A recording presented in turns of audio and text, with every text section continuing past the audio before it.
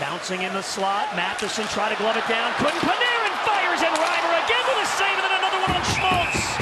James Reimer coming up huge. Teams to create opportunities off the rush. Look at what they do here, picking up a loose puck. Not only the first shot, but there's a second shot.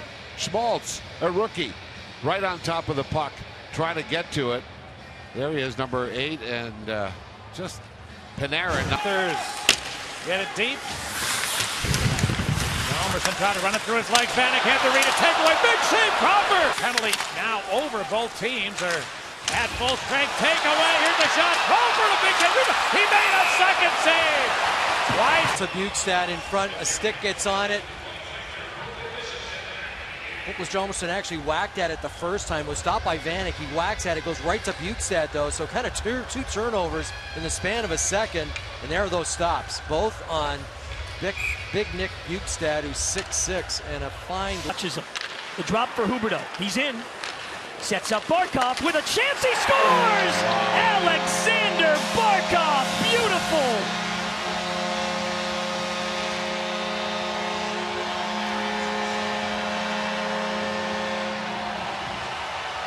Well, both Hjalmarsson and Keith had uh, giveaways in the first period. Now you can add uh, minuses here before the one minute mark of the second period. Somebody in the in the dressing room had to say, boys, we got to shoot the puck because normally from this angle, we're seeing another pass. Not this time. Great pass by Huberdeau, which we've gotten used to.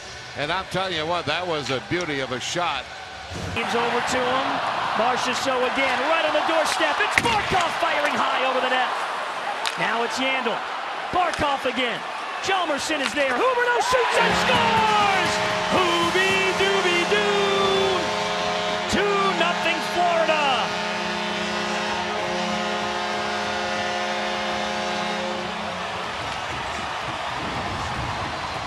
I don't know. I got to tell you something. Barkov and Huberdeau, they're going to give the South Florida fans a joy for many years to come. The NHL, something to really look at as a top twosome on the same line. Look at that passing and Huberdeau finally shooting. I tell you, Brett, Crawford wasn't far away. That was just a little bit of very good passing and not a lot of hesitation. Certainly like to see Bar Barkov sets up Huberdeau. He'll wait. He'll give to Barkov. Cross ice feed score! It's Marchessault!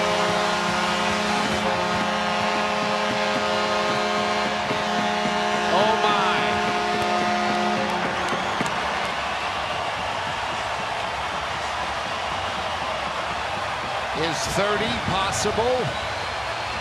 Now we're just watching number 26. There's no hesitation there. I tell you what, Marchessault uh, has got those crosshairs adjusted just right. And again, who makes a better pass than Barkov? Unbelievable. Florida Panthers have shown a pretty good hockey team in the NHL how to run a power play. This has been really, really impressive as the Panthers have moved the puck often, hard. The PK, it's two for two tonight.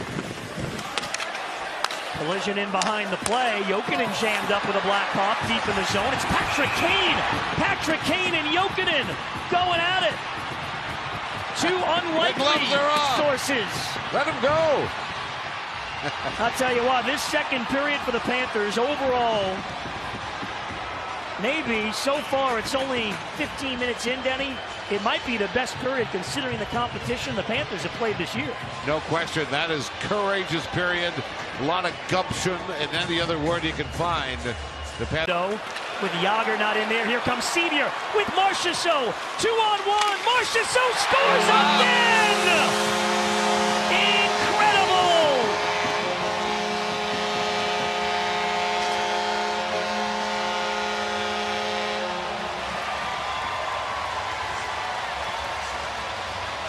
Boy, am I happy that second key of the game was March as so to his drum.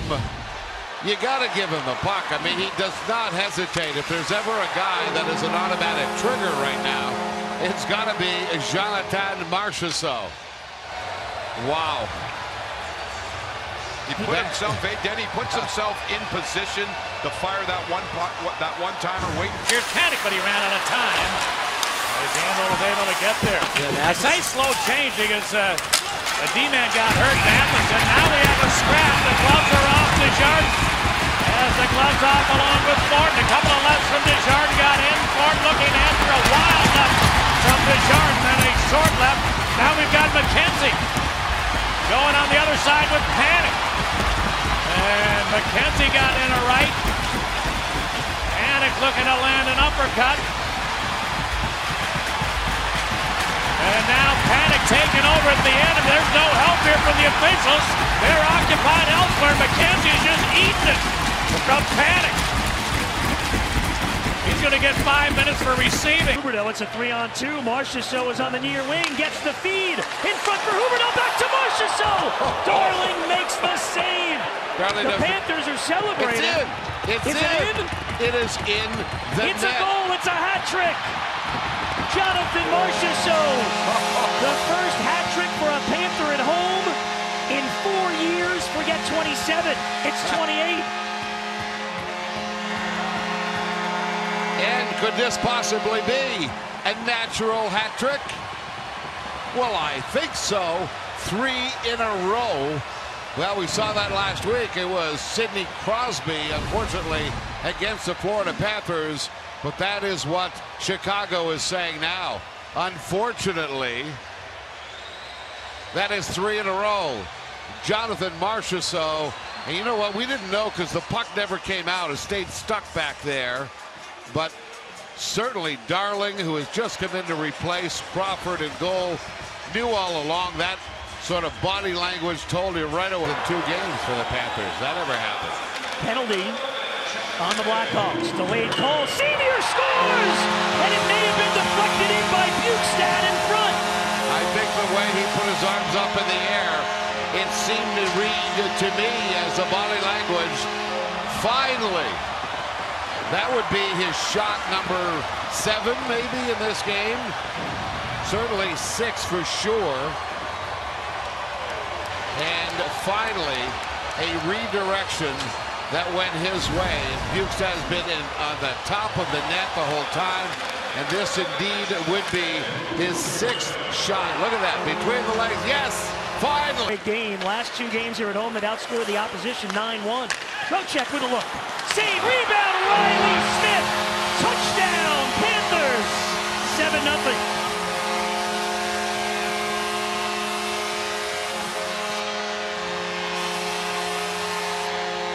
Everything we talked about all season long. Shoot the puck. We'll get the puck on the stick with an open net and no goaltender around because the goaltender had to make a save on the initial shot.